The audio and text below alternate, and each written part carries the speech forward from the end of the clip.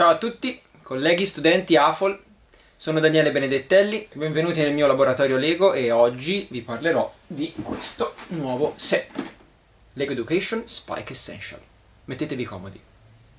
Desidero ringraziare C2 Group per avermi fornito il materiale Lego con cui ho potuto fare questa recensione. C2 Group è un nuovo distributore Lego Education per l'Italia. In questo video vi parlerò di questi prodotti dal punto di vista del, del, designer, del, designer, Lego freelance più che del docente. Adesso mettiamo a confronto la tecnologia di Lego WeDo 2 con il nuovo Spike Essential. Qualcuno potrebbe obiettare che eh, il nuovo sistema, il nuovo set costa di più, però anche la tecnologia che è inclusa è nettamente diversa, al di là del fatto che sono passati degli anni. Intanto nella versione base WeDo viene fornito con un pacco batterie che devono essere comprate separatamente e la batteria ricaricabile esiste ma è comunque da comprare a parte. Entrambi hanno la connettività Bluetooth a bassa energia, BLE, Bluetooth Low Energy, due porte nel nuovo standard Powered Up. Il vecchio WeDo aveva a disposizione due sensori, uno di inclinazione che era in realtà un vero e proprio accelerometro a due assi, anche se poi nell'app la lettura era limitata al su, giù, destra, sinistra, insomma era una limitazione software e non hardware. E poi questo eh, sensore di distanza, che poteva essere usato se a distanze ravvicinatissime per distinguere un colore chiaro da un colore molto scuro. Il motore. Un motore che non ha un sensore di rotazione incorporato, quindi è semplicemente un motore che potete accendere, spegnere e decidere in che direzione mandarlo. E invece il nuovo Spike Essential ha una dotazione un po' più avanzata. Intanto ha un sensore di colore, sensore di luce riflessa e sensore di luce ambientale incorporato, che può essere usato anche a brevi distanze per vedere se un oggetto è presente o meno. E diceva il sensore di inclinazione che fine ha fatto? Non c'è più? Ah, ah c'è e come? Perché all'interno di questo, di questo hub noi abbiamo una unità inerziale di misurazione, una IMU o IMU, che misura l'accelerazione su tre assi e anche l'angolo, quindi c'è un giroscopio accelerometro tutto integrato insieme che permette di mh, capire come è orientato nello spazio questo oggetto, a che velocità sta ruotando, anche se è stato colpito o se viene agitato. Poi abbiamo questo fantastico nuovo dispositivo che è un display a matrice LED RGB, quindi potete accendere questi tre LED di tutti i colori che volete. Immaginate avere tantissimi di questi dispositivi metterli uno accanto all'altro e fare un enorme display a matrice. Potete fare un televisore Lego. E poi due motori, che non sono semplici motori, ma sono servomotori, che significa che voi potete controllare la velocità di questo motore, finemente potete controllare la posizione, l'accelerazione. Potete usare questi motori come sensori perché al loro interno hanno un sensore di rotazione, per cui potete misurare anche delle piccolissime variazioni nell'angolo. Ovviamente se connettete entrambi i motori le porte sono finite, e non possiamo usare nessun sensore. Oppure possiamo. Vedrete dopo che cosa mi sono inventato. Inoltre, cosa fondamentale è che questo hub viene fornito con una batteria ricaricabile. Si può ricaricare semplicemente collegando l'hub tramite un cavo micro USB a un caricatore a 5 volt qualunque. La divisione dei pezzi nelle vaschette per colore può essere comoda in classe ma non ha senso quando si progetta un modello nuovo e quindi io li ho divisi così per comodità. Mattoncini, curve e slope, pezzi curvi, tile, cioè pezzi lisci, vari plate normali e con i buchi Technic, i beam, cioè le travi Technic, mattoncini Technic, cioè mattoncini con i buchi, poi pezzi Technic tipo i pin, i connettori, gli assali, le ruote e poi questi miscellanei, diciamo, in cui ho lasciato l'adesivo originale. La totale assenza di ingranaggi nel kit è sicuramente una scelta by design, cioè voluta ma ha lasciato perplesso me e molti altri designer e insegnanti affezionati al buon vecchio set WeDo 2.0, che di ingranaggi ne aveva un bel po'.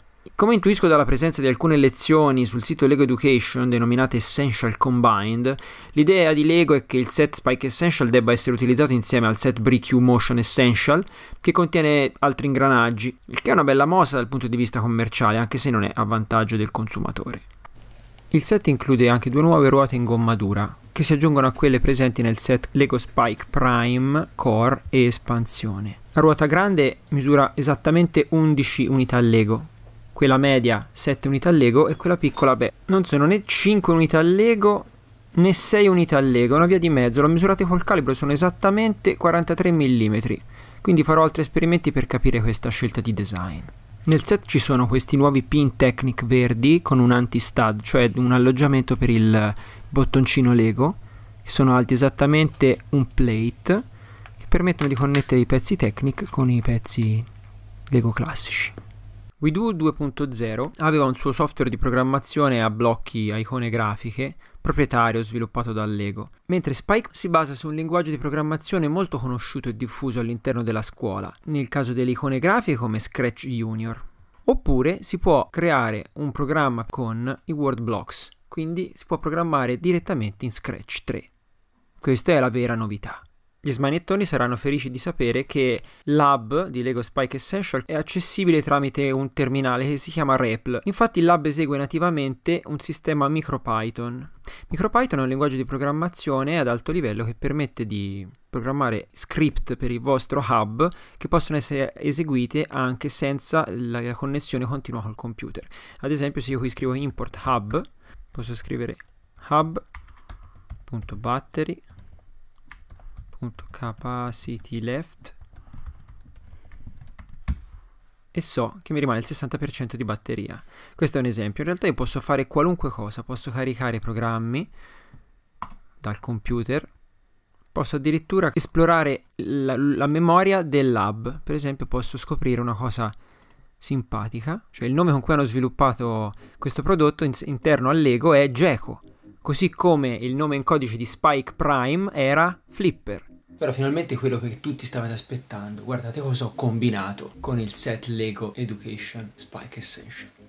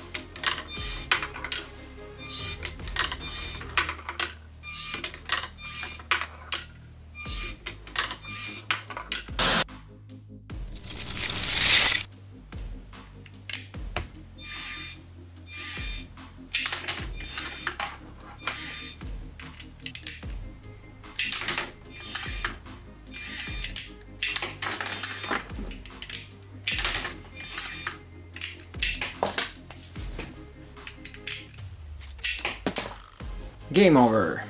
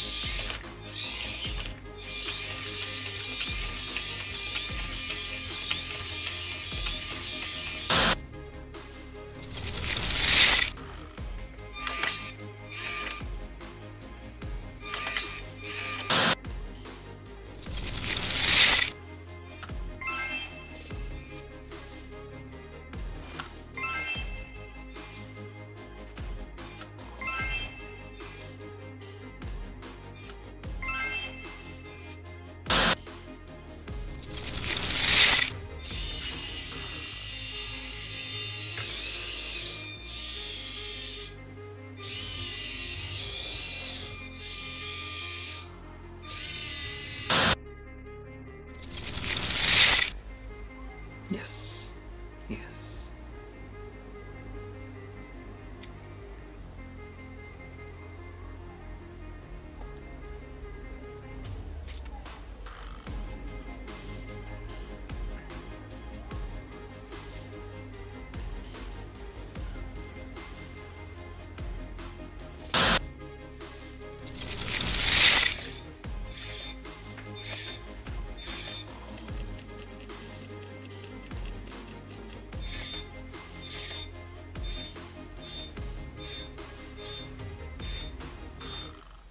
Se questo video vi è piaciuto, sappiate che di video su Lego ne pubblico abbastanza di frequente, per lo più in inglese. Però iscrivetevi al canale e abilitate la notifica, così non ve ne perderete neppure uno. Dai! Per ora questo è tutto, io vi saluto e come al solito restate giovani, continuate a giocare. Ciao!